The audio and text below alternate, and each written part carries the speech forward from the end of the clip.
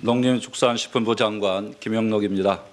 오늘 존경하는 총리님, 김태년 정책위 의장님, 정혜구 정책기획위원장님을 모신 가운데 농축산물 안전 문제를 보고 드리게 된 것을 매우 뜻깊게 생각을 합니다. 농림축산식품부는 국민 건강의 첫걸음인 안전하고 깨끗한 농장을 만들겠습니다.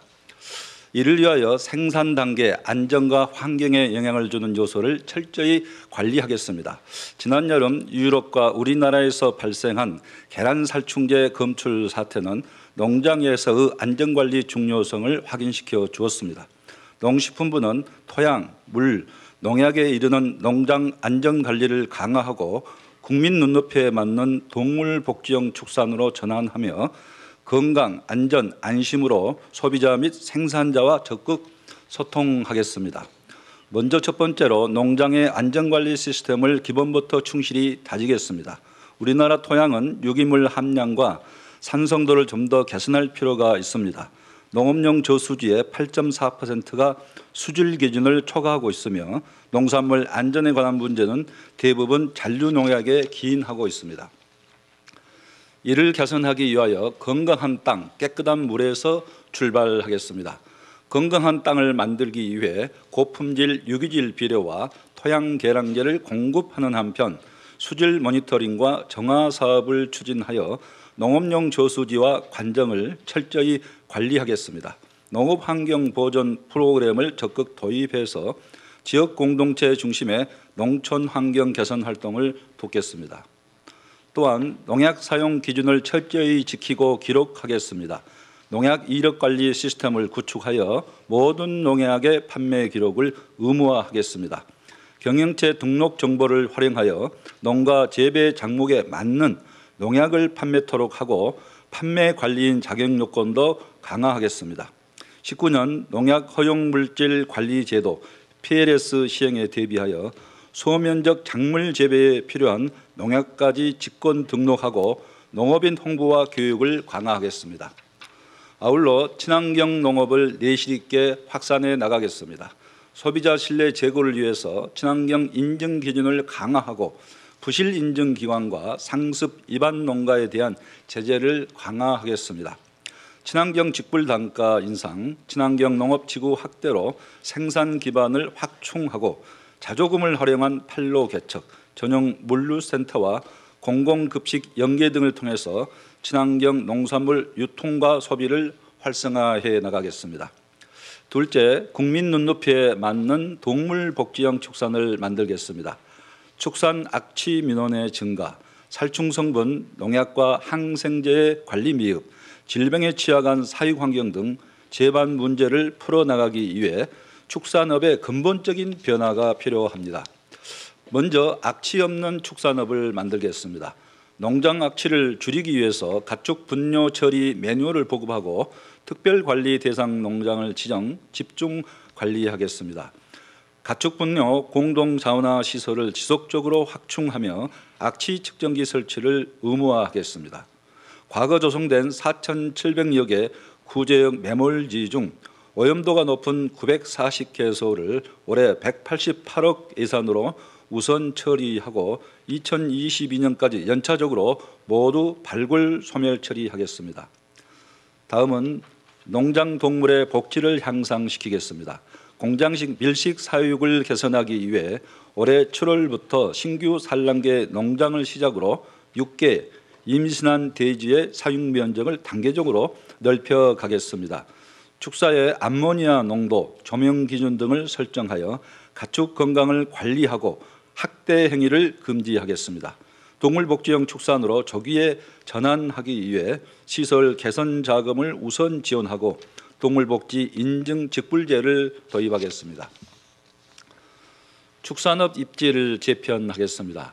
가금 밀집 지역을 대상으로 농장간 간격이 500m 이상 되도록 재배치를 지원하고 철새 도래지 인근 3km 이내 신규 가금 농장 설치를 금지하겠습니다. 이와 함께 산지 생태 축산, 지역 단위 축산 단지 조성 등 환경 친화형 축산 모델을 확산해 나가겠습니다. 다음은 선제적으로 축산물 안전 관리를 해 나가겠습니다. 농가의 안전 사용 기준 신설, 판매사에게 거래 기록 유지 의무를 부과하는 등 살충 성분 농약 관리를 강화하겠습니다. 대규모 산란계 농장의 해썹 적용을 의무화하고 전문 방제 업체를 통한 축산업 공동 방제 사업을 실시하겠습니다. 또한 수의사 처방이 필요한 동물 항생제를 40종으로 확대하는 등 항생제 사용을 줄여 나가겠습니다.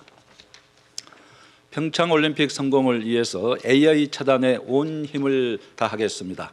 H5형 항원 검출 즉시 이동 통제 예방적 살처분을 실시하고 계열사 소속 농장에 대해서도 전체 이동 중지 명령을 발동하는 등 과거보다 신속한 초동 조치를 취한 결과 전년 동기 발생 건수 334건에 비해서 이번 겨울은 14건으로 대폭 줄어들었습니다.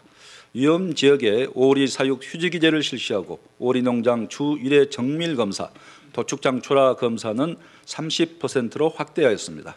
올림픽 개최지 강원도는 경기장 주변 가금을 모두 수매 도태하였고 중앙특별 방역단을 파견하여 방역에 철저를 기하고 있습니다.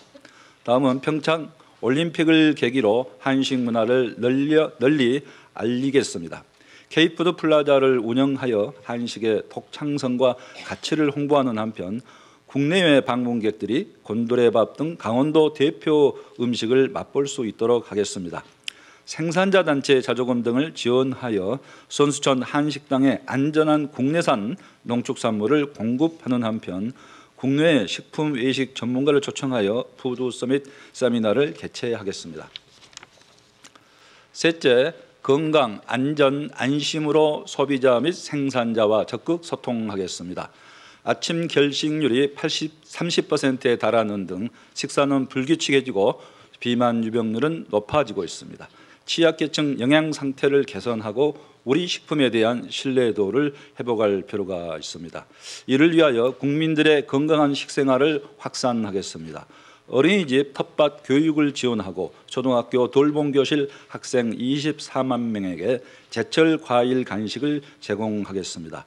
대학생 대상 천원의 아침밥 프로그램을 확대하는 한편 푸드뱅크와 연계하여 취약계층에게 농식품 기부를 활성화하겠습니다.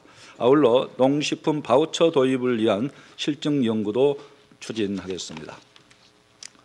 고지방 위주 쇠고기 생산을 바꾸겠습니다. 등급 평가 시 마블링 평가 비중을 낮추고 고기 색깔 등 다른 요소의 비중은 강화하여 경영비 절감과 함께 균형 잡힌 영양 섭취에 기여해 나가겠습니다. 지역 food plan을 통해 안전한 먹거리 공동체를 만들겠습니다. 올해 8개 지자체가 food plan을 수립하도록 적극 지원하여 전주 부여와 같은 우수 모델을 확산해 가겠습니다. 다음은 생, 소비자, 생산자와 안심 소통 체계를 구축하겠습니다. 소비자에게 가금류까지 축산물 이력 정보를 제공하고 생산 현장 모니터링 지원을 확대하겠습니다. 생산자 단체와 합동 포럼 운영, 찾아가는 교육 홍보를 강화하여 생산자와도 적극 소통하겠습니다. 농식품 안전 이슈에 대해 정부, 생산자, 소비자가 함께 논의하는 소통 협의체를 운영하겠습니다. 농식품부는 현장과 혁신을 최우선으로 하는 first 농정을 추진하겠습니다. 정책 담당자가 팀 단위로 현장을 방문해서 문제와 답을 찾는 현장 방문의 날을 운영하고 매주 수요일 정시 퇴근 전 60분간 first 60 talk를 통해서 정책과 일하는 방식을 혁신하며 청년농 town hall meeting을 분기별로 개최하는 등 고객과도 소통을 확대하겠습니다. 모든 업무 추진 과정에서 현장, 혁신, 책임, 공감, 신뢰의 first 농정을 추진하겠습니다. 농림축산식품부는 생산과 소비, 안전관리, 식생활, 환경보존을 아우르는 국민 먹거리 종합계획을 수립하고 국민 건강을 최우선으로 하여 생산 단계의 안전과 환경 관리를 강화해 나가겠습니다. 이상으로 보고를 마치겠습니다.